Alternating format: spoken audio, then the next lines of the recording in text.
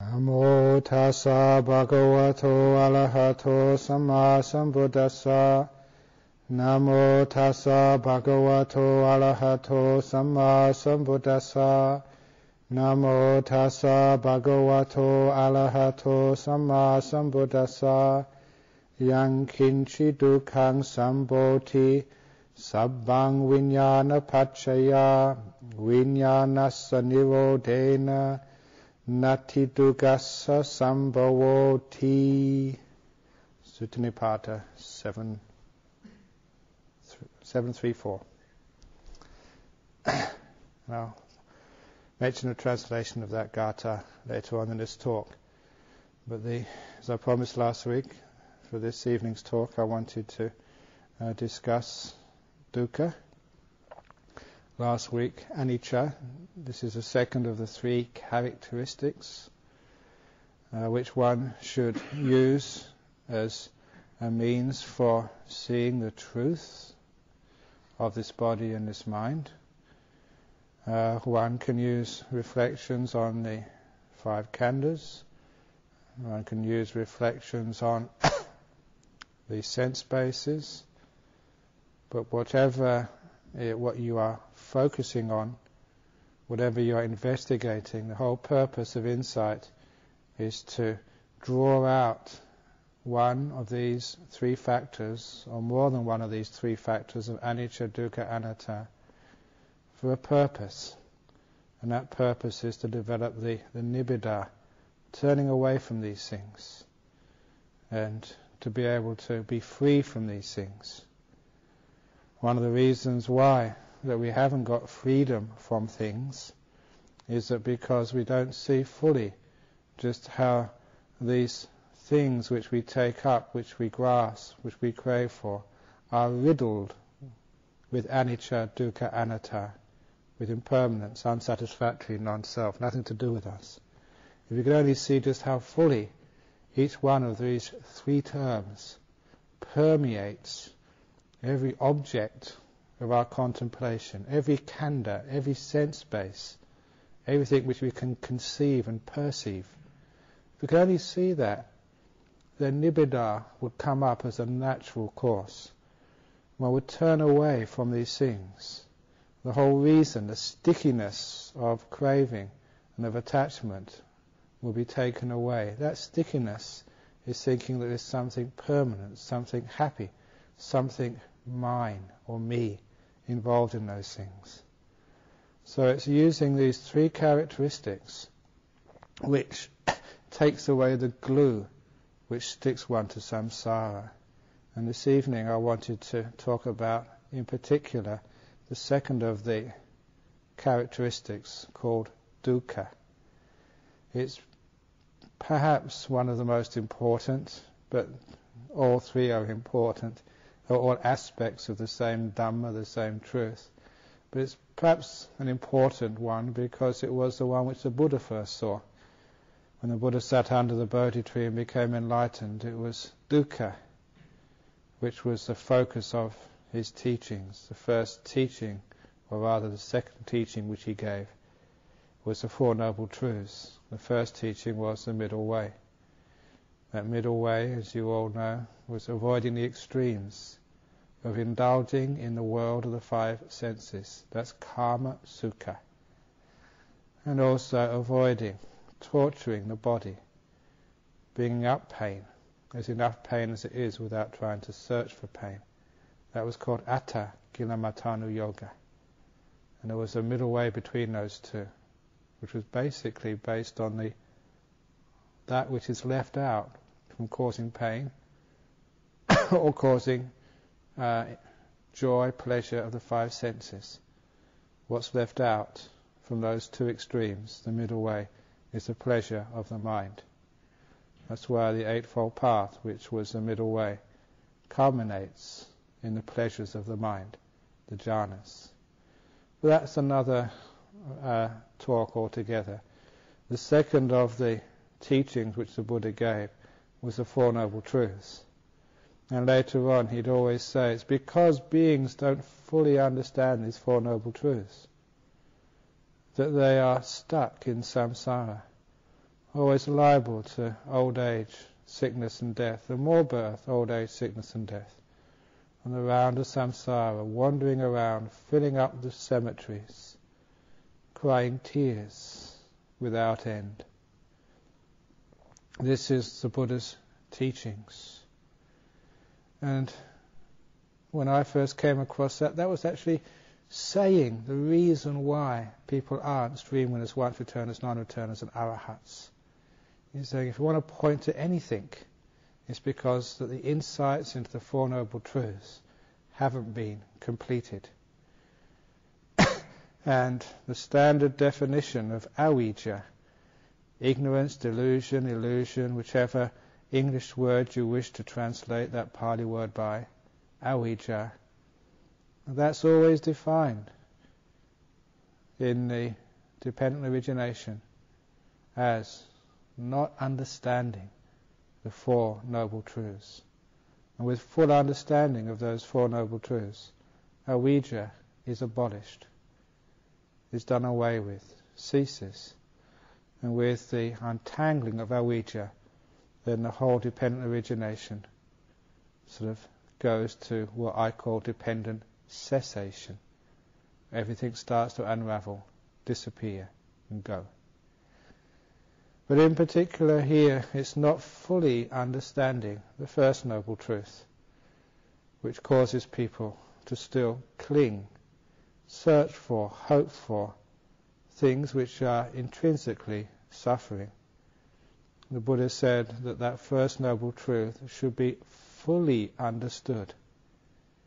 They use the word parijanati. To know, but pari, parignana to fully know all around in every particular way. And it's because there's some aspects of dukkha, there's some little areas of our mind, of our body, or the objects of experience, which we still think aren't subject to dukkha. Whatever we think is not subject to dukkha, we will take hold of that, cherish it, crave and attach to it.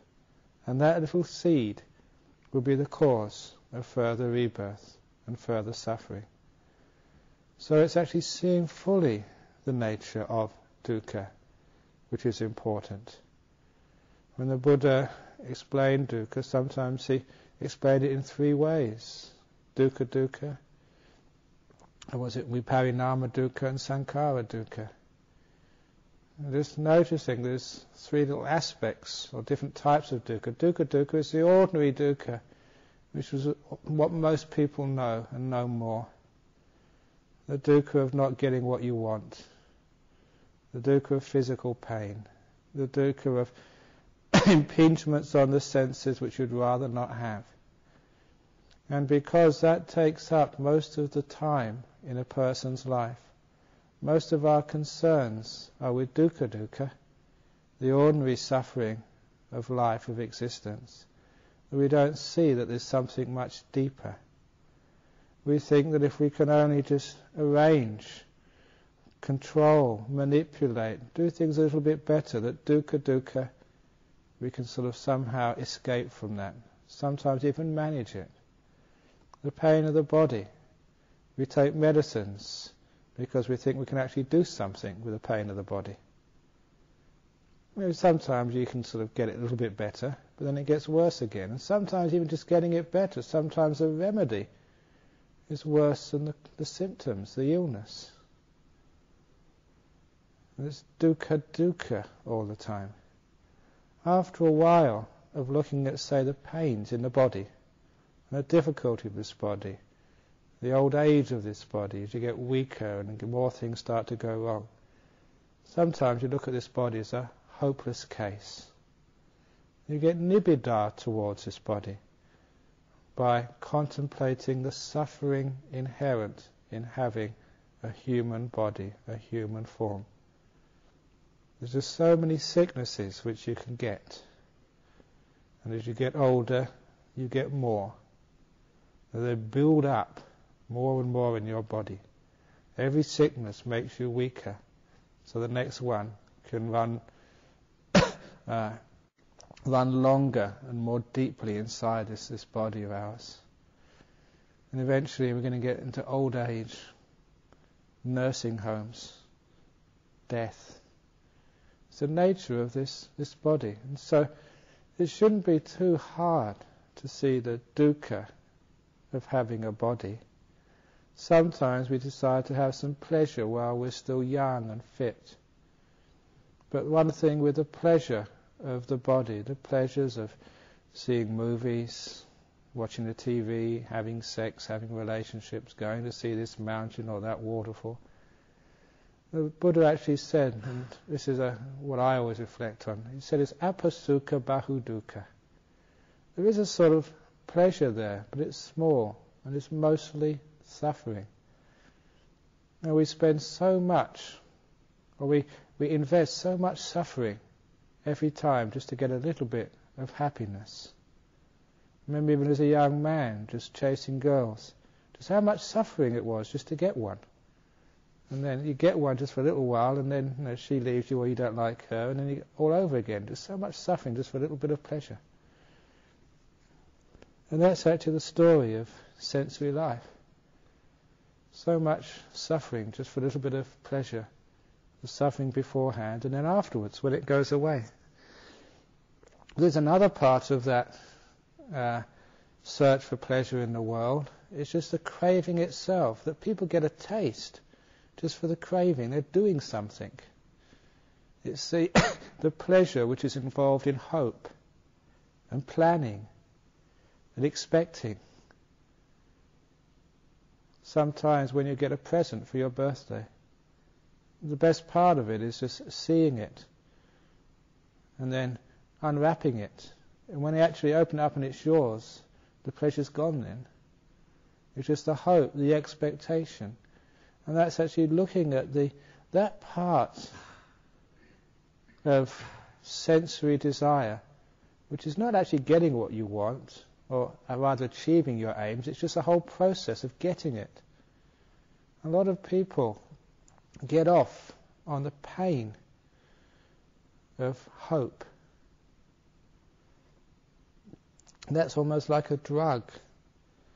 It's a drug which they think is going to give them pleasure, which they get addicted to, but which wrecks their minds and wrecks their bodies. What people do in this world for a bit of fun. Just this evening, it's tea time, we were talking, someone said there's, there's a club of people who jump out of high-rise buildings with parachutes. And they said a third of them are already dead. They didn't make it. Imagine doing that just for fun, knowing that you've got one in three chance of dying, you know, just on the fall, just so you could jump out of a building, top story of a building, open up a parachute, maybe you live, maybe you die, one in three chance of dying. Or there's people in Japan who have this certain type of, I think it's toad or fish or something, which every now and again so many people die. It's almost like uh, a weird sort of craving for craving itself. A craving to crave. And so this is a type of suffering, of dukkha dukkha, which is important to actually to see in the world. What do you want? Or is it just the wanting which you want? And if you look at the wanting, you can see that a lot of that is caught up with the idea of being someone, doing something, just being in this realm of samsara. But if you look more closely, that's just so much suffering. Why is it, especially during meditation times? There's nothing to do. Everything is provided for you. All the requisites of life are there in abundance, but we want something more. And the mind disturbs itself by planning, by wanting. It doesn't need anything. It just wants to be involved in craving. Why? Because in craving there is a pleasure. Know the pleasure of craving. Imagine planning something. Planning a trip to the ice cream parlour or to McDonald's or to the movies or wherever you're planning, to holiday somewhere. You know, planning for it, there's pleasure there. But look at the suffering there as well. If you can see both, you see it's apasukha, bahudukkha. Perhaps the most illustrative example of this was that story which I told last night to the Anagarikas, which was one of Ajahn Jagaro's most famous stories. He used to tell it a lot. And that's of the Nasruddin, the Mullah Nasruddin, eating chilies, you know, red chilies, one after the other. And his face is so red, and just with the eyes just watering, and with mucus just dripping down his nose over his mouth. Just in great agony. Imagine what it's, those of you who've got stomach aches, imagine what it's like after about 12 or 13 chilies in your stomach. And his friend said, what are you doing that for? He said, because I'm looking for the sweet one. And that's actually the story of many people's life, of dukkha dukkha. You're looking for the sweet one. You might go from monastery to monastery. You're looking for the sweet monastery. Teacher to teacher, looking for the sweet one. life to life, birth to birth, looking for the sweet one. But all of you know that chilies, there are no sweet chilies. It's all just hot. The five senses are on fire. We're going to chart next week. Just like chilies are on fire. But somehow we think that somewhere there's a sweet one.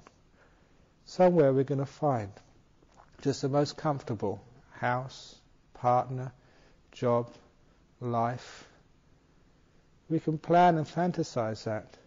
And in that planning and fantasizing, there is a happiness there, but it's a suffering there as well. And in the achievement of that, you'll find you'll always be disappointed. The two sufferings of life, Oscar Wilde which is not getting what you want, and the other one is getting what you want. So that's ordinary dukkha dukkha, but it needs to be looked at because this is sometimes what disturbs us in ordinary monastic life. That's why if ever that I am not peaceful and not content, whether it's in my meditation or walking up the meditation path, you know how it is sometimes. You don't feel like sitting meditation. You don't feel like walking meditation. You don't feel like reading the suttas.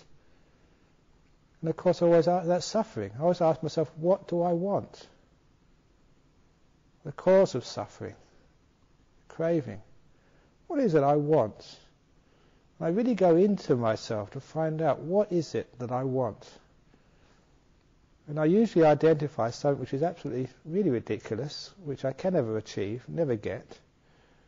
As soon as I see what I really want, I can see that that is suffering. I'm burning myself. I'm looking for a sweet chili, something which never exists. And as soon as you see the stupidity of that craving, it cannot occur. When you're in the world, you want the most, if you're a man, the most beautiful woman, the most beautiful partner. when I was a young monk, I think one or two years as a monk, one of the other monks who I'd grown up with decided to disrobe. And so I said, well, what's he disrobing for? He said, why don't I disrobe as well, I thought. And I looked at it and said, do I really want to disrobe? If I want to disrobe, what for? To get a nice woman. And I started thinking, what type of woman would I want? One would always do what I what I told her. One would always be so sensitive to me one would always be there for me. This is actually in Singapore, someone told me this story. They wanted to marry someone who would always be entertaining and jolly, would always do what they're told, would be quiet when she wanted them to be quiet, would entertain her when she wanted to be entertained, would always be uh, a good companion for her. What she really wanted was a television. That's the only thing could control, be a good companion, entertain you. She didn't want a man. so really, when you actually look at that, when I was looking at that, I said, look, what I want, I will never be able to find. The chilies are hot. People have got defilements. Actually, that what I really started thinking of, the only person, the only woman I could really live with would be an arahat.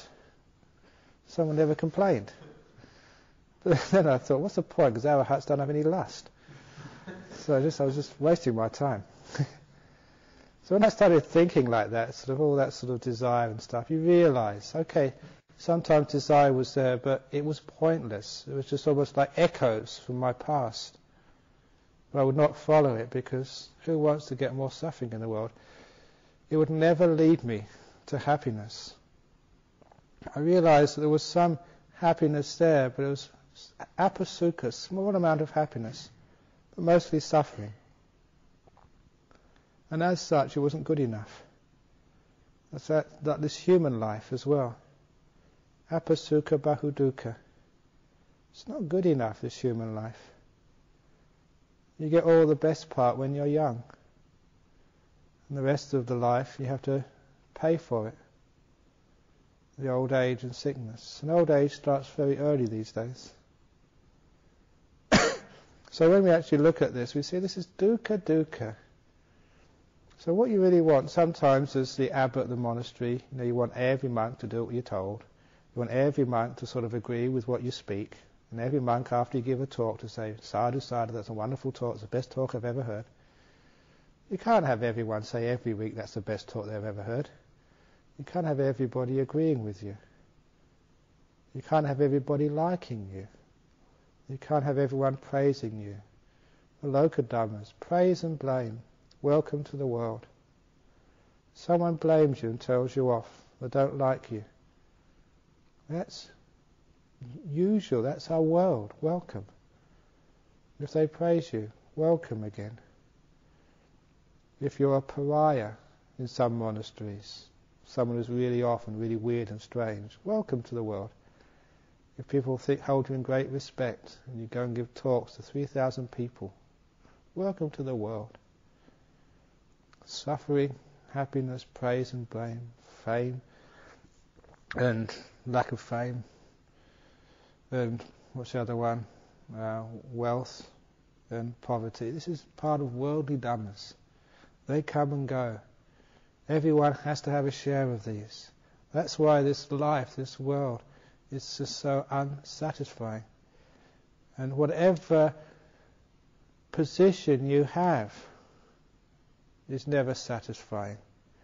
When I was a young monk, I looked at the senior monks in the line. They were the ones who had the big cushions. And they were Thai monks. And I was a Western monk. I wasn't used to sitting on the hard concrete. And look, in northeast Thailand, the villagers built the monasteries and they couldn't lay concrete. It had bumps in it. It wasn't even smooth So all these little bumps were sticking into my buttocks as I sat there. And all these big ajahns, these big teachers, had all these soft cushions. And I thought, this is unfair. You should give all the big cushions to the junior monks.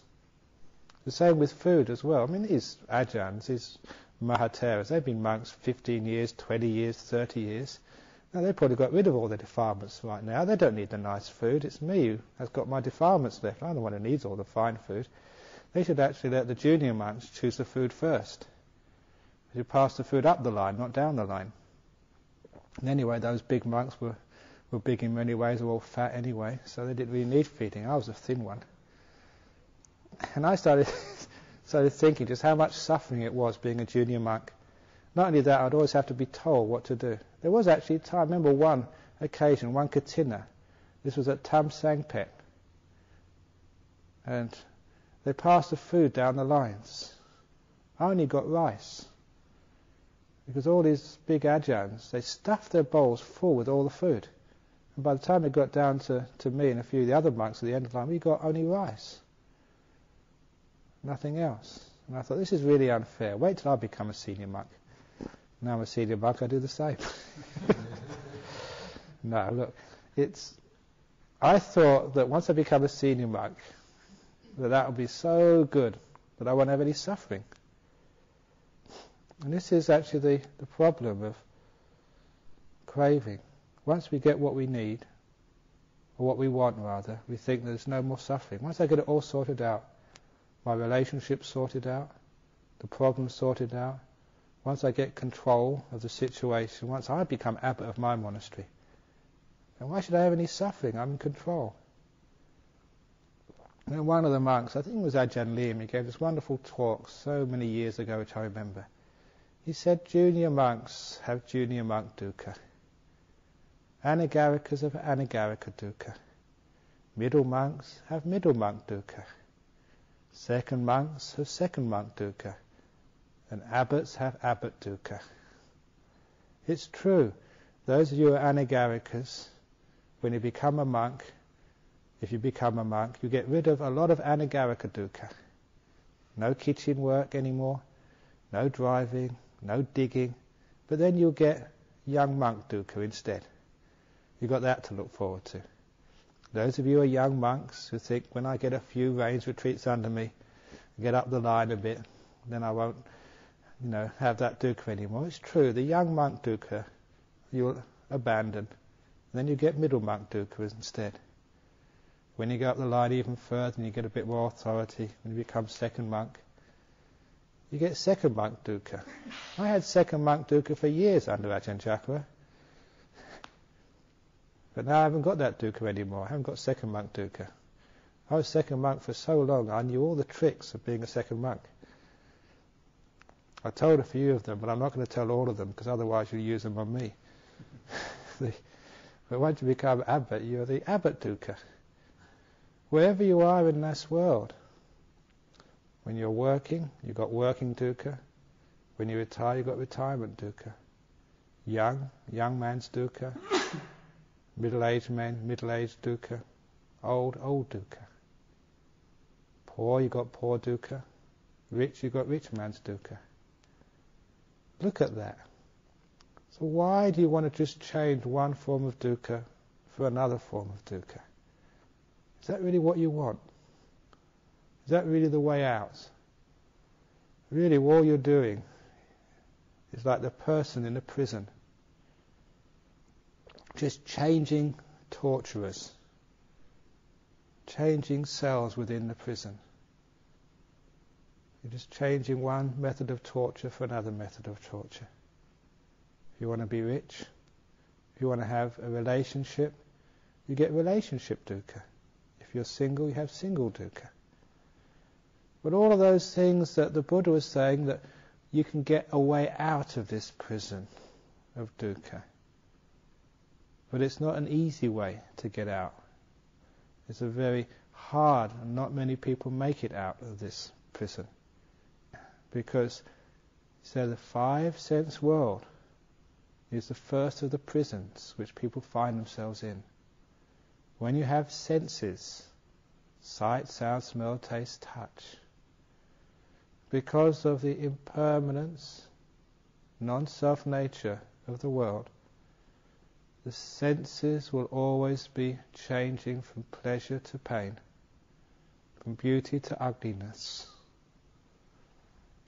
from happiness to whatever.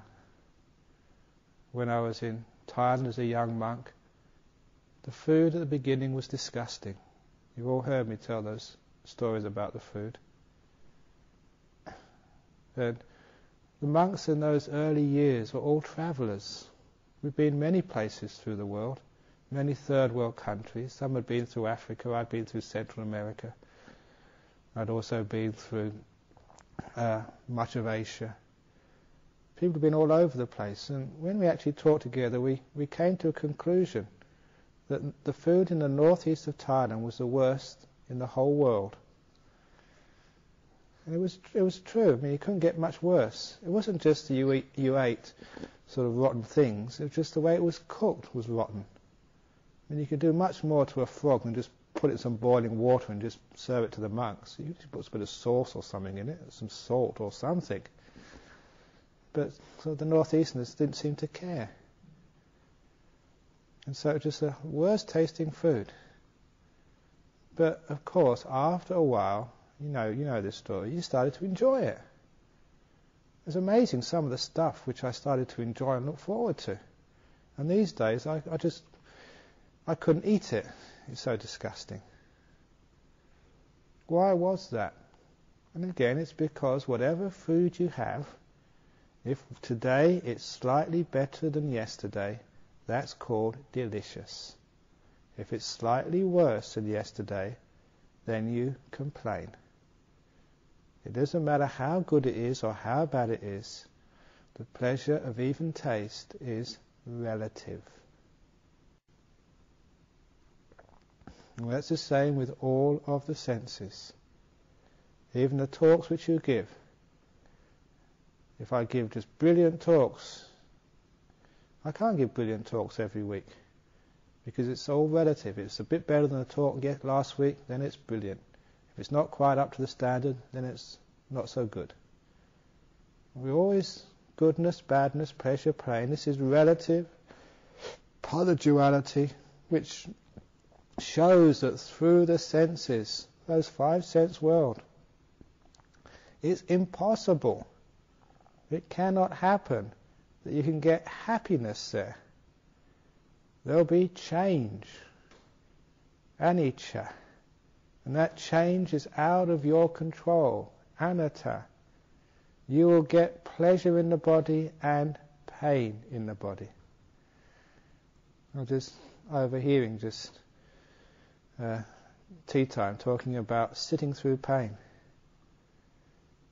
Isn't it true that the monks have done that? They sit through pain many hours, the beginning of the night, and the end of the night they sit through bliss.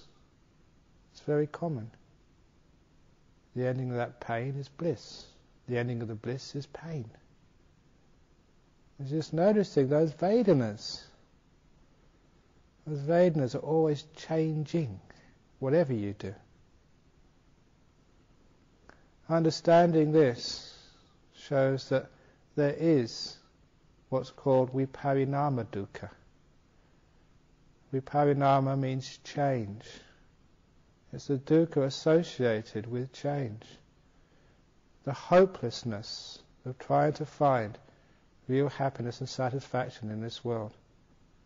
Really contemplate that. You're in the five sense world most of the time in this monastery.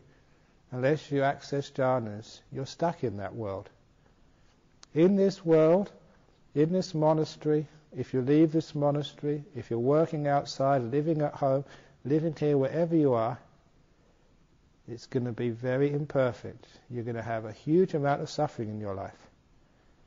And some happiness as well. It has to be that way. If you look at this clearly, not just with the um, stupidity of um, denial. We want the world to be happy. We want the world to be perfect. And so when it's not perfect, we think that someone's made a mistake. We blame ourselves or blame other people. That blaming is just denial. You can't blame yourself. You can't blame other people. This is the way this world actually is. It's not really up to you whether you're smart or stupid, whether people make mistakes or don't make mistakes. This is part of the sensory realm. When actually you see that clearly, you realize that trying to find happiness in this world, trying to fix up this world, trying to solve the problems in this world, trying to do social work, trying to set up organizations to stop the exploitation of this group or that group. It's nice to do, but it's pretty hopeless. It's like the person being born in a prison, not knowing anything else other than prison, and spending their whole life just trying to make the prison cell a little bit more comfortable, painting the prison cells, putting flower pots with nice flowers on the cell windows. No matter how much you paint the prisons, prison is prison. Every prisoner, if they had the chance, would like to escape, except those who get institutionalized, who don't know any different. This is what most of us spend our life doing, trying to think, well, prison isn't all that bad. You know, the torture, you know, it's only you know, every 20%, 30%, 40%, 60% we have fun. Really, if you were in a jail, you only got tortured sort of what, uh, eight hours of the day, and 16 hours of the day, you could do whatever you want. Would you really be happy? Is that really a good deal? What happens if it's a better deal? Say 18 hours of the day, only 6 hours of torture. Or 20 hours of the day, and only 4 hours of torture. Or you know, 23 hours of fun and 1 hour of torture. Or say 30 years of fun, and then you get your torture for the last 20 years of your life. Or the last 10 years. Is that really good enough for you? Point is that people who are Aryas see that the place where you're born in is a place called a prison. You're tortured by the five senses, which are beyond your control. They give you happiness and then they give you suffering. The person who actually built this, or not built, who laid the bricks in this hall, he was an old man. He was in the Royal Air Force during the Second World War. He told me that just towards the end of the war, he went on a bombing raid over Germany. His plane got shot, and they had to jump out. And being sort of scared, instead of waiting with all the other crew, he jumped out too early and landed in enemy territory. All the other ones, they waited a bit longer, and they all fell in the uh, in the English lines. He got captured. He got captured by uh, the German uh, military. And you see, I don't know if they don't they didn't see movies in those days, but you know you'd all recognise this. They had the good guy and the bad guy. He said. And this bad guy was interrogating him, asking where he came from and what was going on. And then, after being interrogated for a while, this other German soldier came in and said, Ah, you know, just we're all soldiers together. And he said, I've got you something to eat. And he said it was like roast beef and potatoes and gravy and like peas and everything he could ever want as an Englishman. And he put it right in front of him. and he was just about to tuck it. He said, like, this good guy, you enjoy it. And then the bad guy came in and said, what are you doing? And he threw the plate to the floor. it was just out of Hollywood. but he said it actually happened. He didn't know better at the time. He got really upset. And this is just torture, isn't it? That's, a, that's how people get tortured. Putting happiness in front of you, almost in your reach, and you find you can't get it. So that five sense world is like that. Don't buy into that realm in this monastery we live in that realm all the time. You can never get the food you like, you can never get the kuti you like, you can never get the weather you like, you can never get the sleep you want, you can never get the health and the body you like. You can't get it. It'd be wonderful if as an Abba I can give you everything you wanted. It's impossible to do that. That's why I don't mind pampering, because I can't fulfill what you want. No one can neither in this life or any other life. The viparinama dukkha just shows you just the, the hopelessness of this life. And if you don't know anything more, a lot of times people just say, okay, well, you know, this is life, just make the best of it. Yeah, you know, there's going to be a bit of suffering, but, you know, why not just try the best you can, just take the rough with the smooth, that's life. But the point is the Buddha said there is something more than that. There is something different than that. And this is actually where the sankhara dukkha can be investigated. Only if you've let go of that five sense world. This sense world of sight, sound, smell, taste, bodily touch. I say that the whole purpose of the Eightfold Path is to get you, first of all, when its first purpose is to get you out of the five sense world, to give you a different perspective, to get into the world of mind, of the sixth sense, the Rupa Loka or Arupa Loka instead of Kama Loka. This world is Kama Loka. It's not a very high realm to be in. One gets into Rupaloka, Arupaloka, and the jhana realms. One tricks you into getting into these realms just because of the sheer fun of it. I was saying to the Anagarikas last night, the jhanas are a poison with a sweet taste. They poison the defilements. They poison the self. They poison craving. And especially poison the self. Why would you want to poison the self? Just because it's so sweet. The sweetness of those states is what will take you past the fear of knowing that you're killing something deep inside of you. But it's only illusion, it's not a real thing you're killing. You're killing the delusion of me and mine. If you don't do it through the sweetness of the experience, you can do it out of faith. Faith in the teachers you know who have done that, who have gone through the other side, and who are fine. And actually more than fine. When a person does get into the deep meditations, of jhanas, it's extremely blissful. And sometimes people ask, well, what's that got to do with seeing dukkha? It's got everything to do with seeing dukkha. Because reflecting afterwards, why is that bliss? Where did that come from? Or what we say in Buddhism, what caused it? Everything has its cause, has its origin. The origin of the happiness of jhanas is vivicceva kamehi.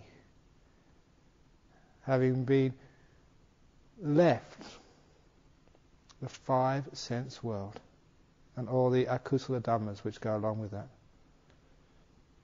Having got out of prison on parole. Sure, jhanas are temporary releases in the same way that parole is a temporary release. Just out of compassionate leave, just for a few days.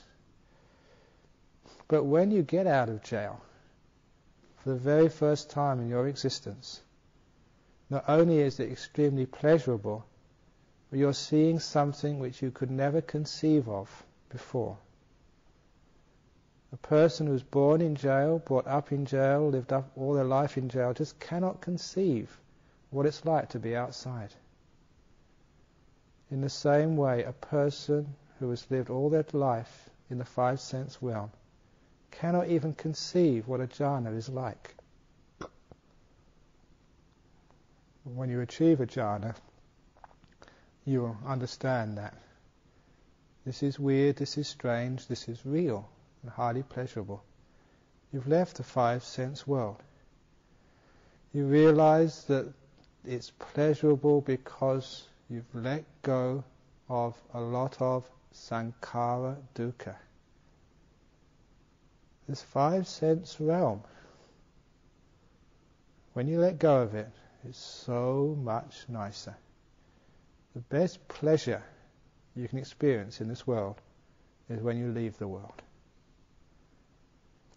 That has an enormous effect on your five khandhas, on your view and on your perception.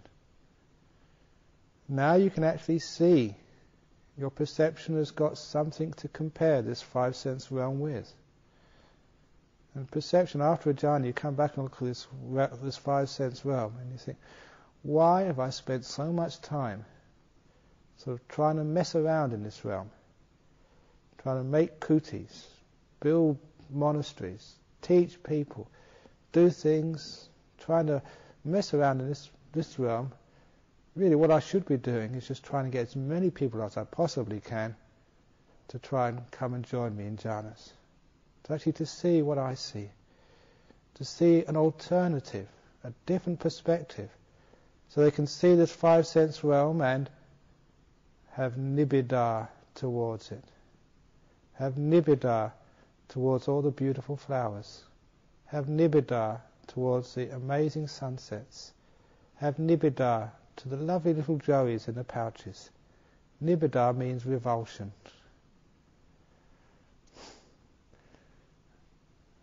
A lot of times people think you're crazy. How can you sort of have revulsion to these wonderful things in the life? you monks are weird, strange, repressed. You should go and see therapists.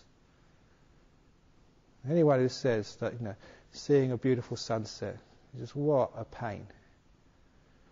Just beautiful flowers. Yuck. People think you're weird. But this is the truth of things. Nibbida comes when you see something, a pain, a disease, a boil, which you've cherished all this, all this life, and now you see just what it truly is. And then you want out. Nibbida is wanting out. Viraga comes from the development of such nibbida. Viraga means the fading away of interest in that realm. You're just not concerned so much with the world anymore. And all the beautiful little girls in the world. I just flipped through that newspaper down in the office today. In the central pages, there's unclothed women in there. Yuck. Why would you want to mess around in that realm? You know, the realm of the jhanas is higher, more beautiful. Of course, this is not the end because the jhanas are sankharas as well. That's sankhara dukkha. But at least you're getting your first taste of seeing that what you viewed and perceived as happiness is indeed suffering. In the sutras, the Buddha said, what the puthujjanas, the ordinary people, say is happiness, the Aryas say is suffering. Pleasures of the world, seeing a baby born, seeing a young, nice flower, seeing waterfalls, know, hearing a symphony, you know, well played. You should have been there. And all of those pleasures of the world which people delight in, which people cherish, which people celebrate, the Aryas say just such a lot of suffering. Why do they say that?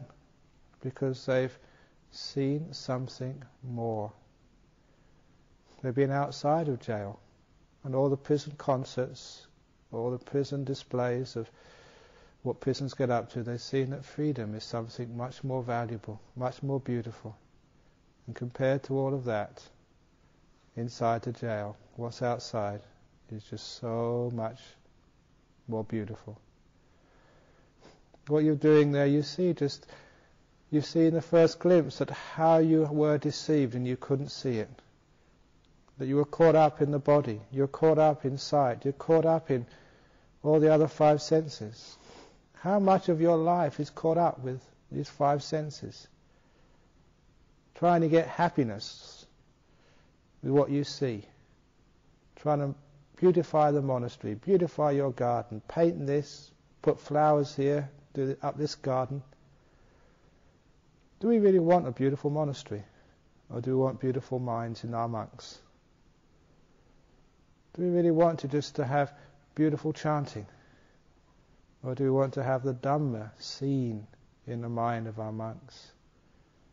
Do we really want to have great food? Or do we want to have the the Dhamma food inside. All those things in the world, we spend so much time on them, so much effort on them, and it's hopeless.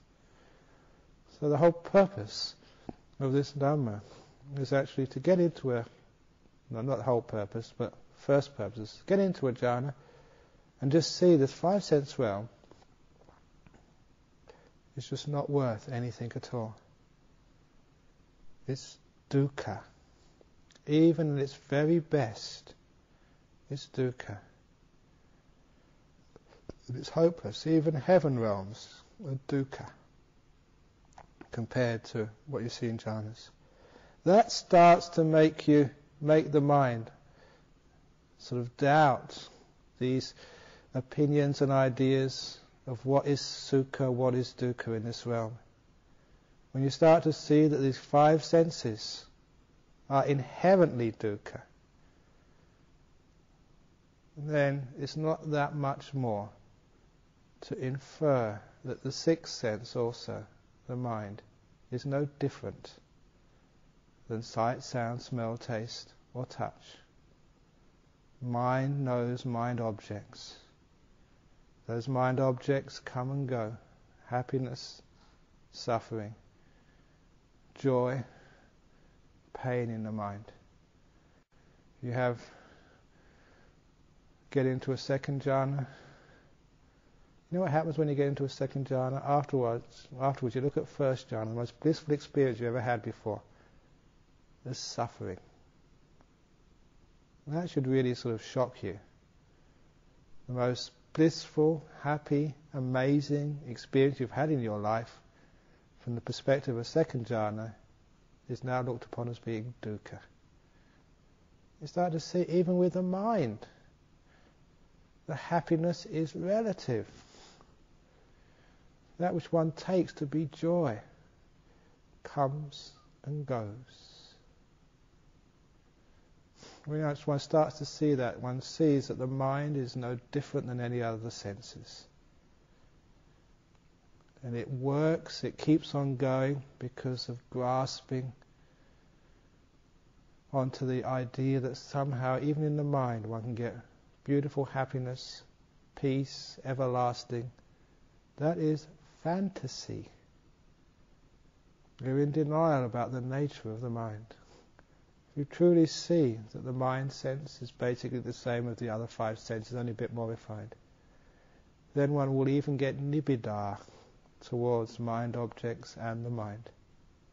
That's why the Buddha taught Satipatthana, see the body, see Vedana, all the six Vedanas.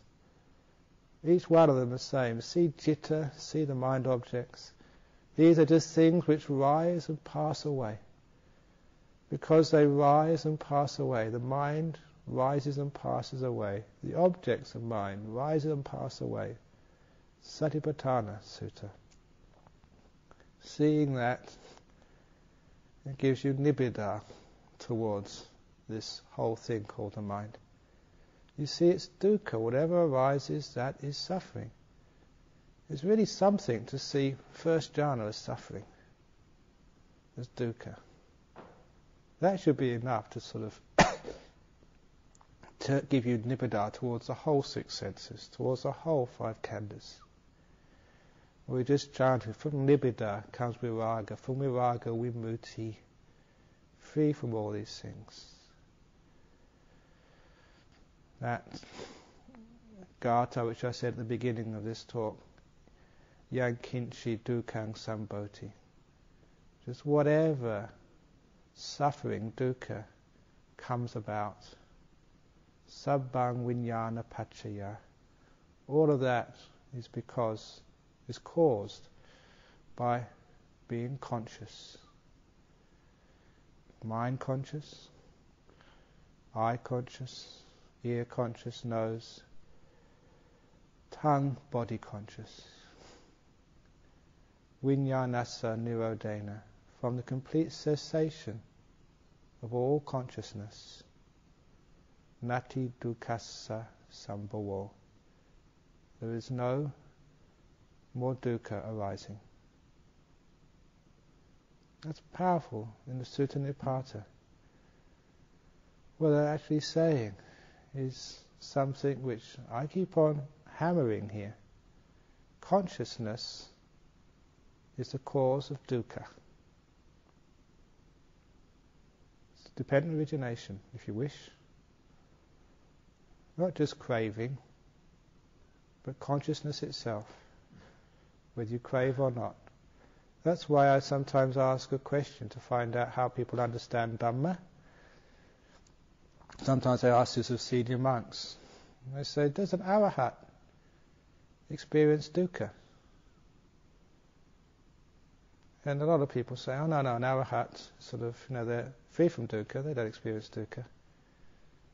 Then I know they haven't seen the Dhamma. An arahat experiences dukkha. If they are still conscious, haven't parinibbanaed yet, then they experience dukkha because they know that consciousness causes dukkha. To see is to suffer. To hear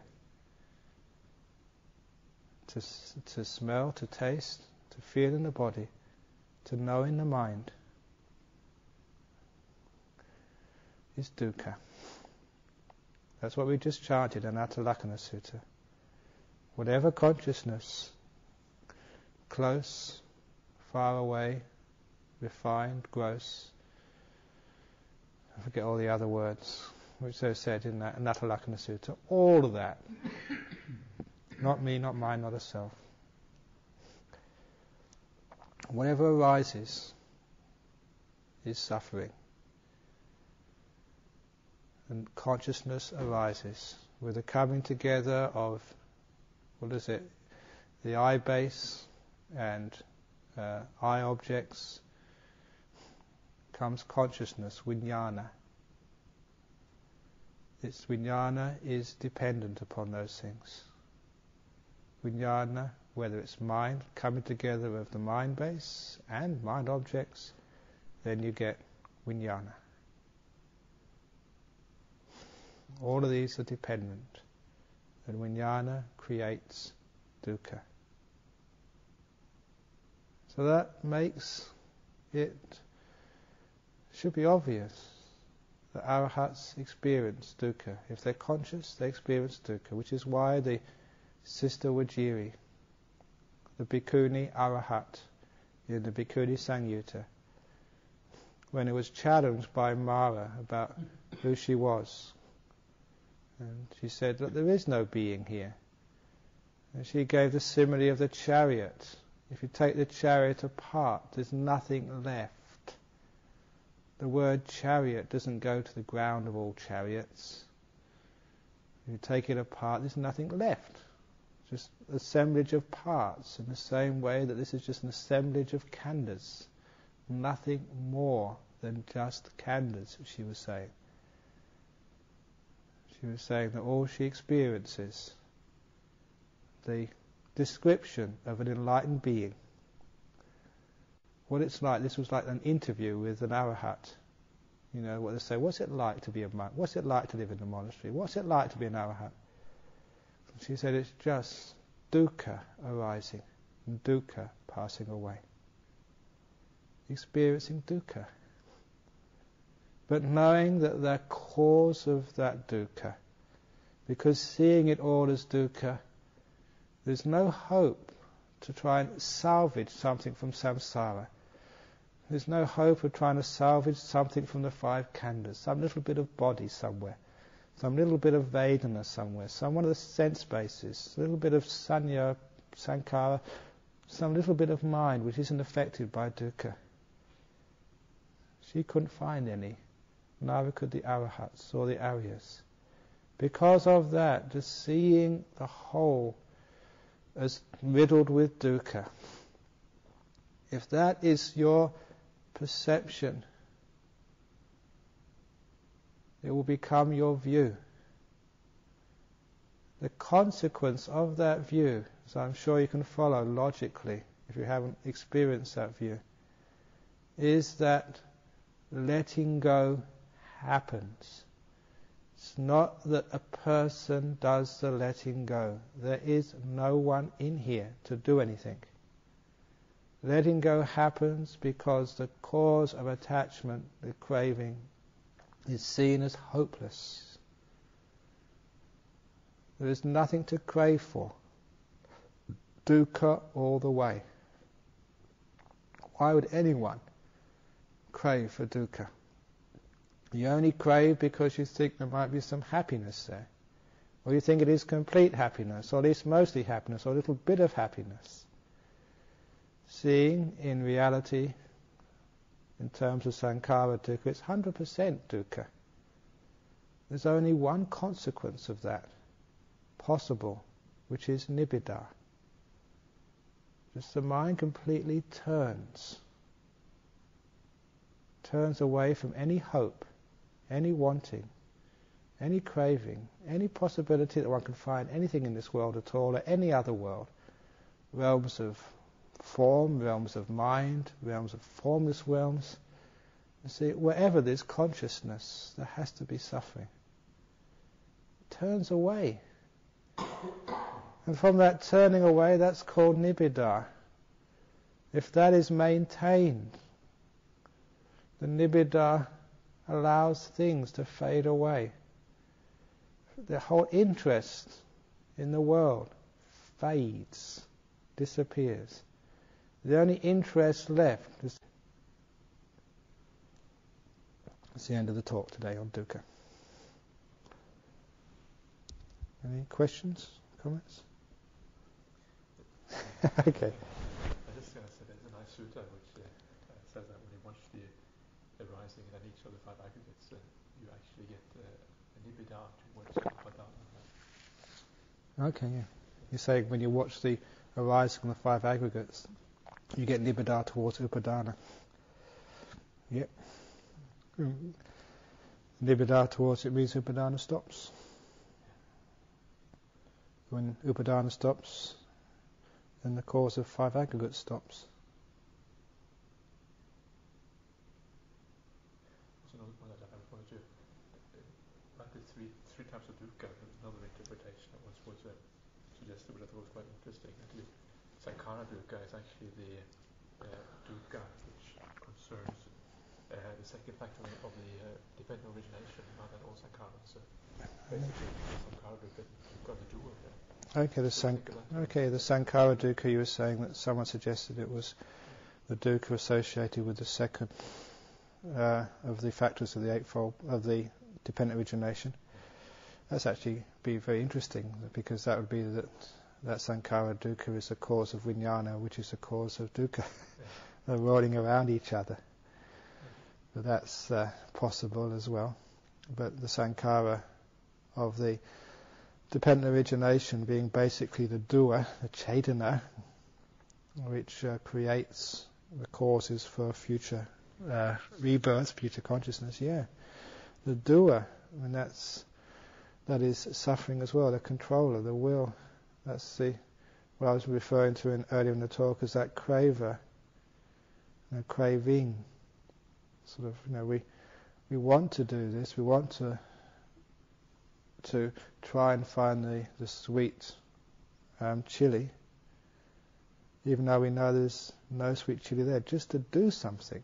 It's a craving. It's also the craving of being, because being is caught up with doing. And doing is part of being. But yeah, the, the doer is suffering, and that uh, suffering is very seen. When if you always got the doer around, you can't realise just how much suffering it is sometimes people like to exert their will and get a lot of pleasure they feel out of cultivating their will and controlling. But all of you know in your meditation that the more you get rid of the doer, the more freedom you have. If you can get rid of the doer completely, and you know how to get rid of the doer completely, the doer gets disappears in the first jhana, or actually completely in the second jhana, but first jhana most of the doer is gone. And to see that happening, just to see that also the jhanas are happy because there's no more doing. There's, there's no more things to do, no more things to construct, nothing to seek. There's actually a sense of real contentment there, real fullness, instead of always having to do something more. Sometimes you get fed up with doing. Are you fed up with work? going to the kitchen and cooking for the monks, or sweeping up, or building. I'm fed up with giving interviews. Always have to do this and do that. You know, you want to do things to get rid of things. It's marvelous to actually to stop all the doing. Sometimes, even if you don't have to give interviews, you don't have to be in the kitchen, you don't have to clean the toilets. Just sit in your hut and start doing something else.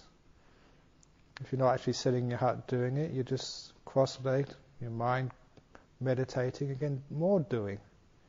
Stop all this doing business. So I think it's actually a good, interesting idea that sankhara dukkha is the dukkha from doing. So see if you can stop. Thank you. I'm going to stop now.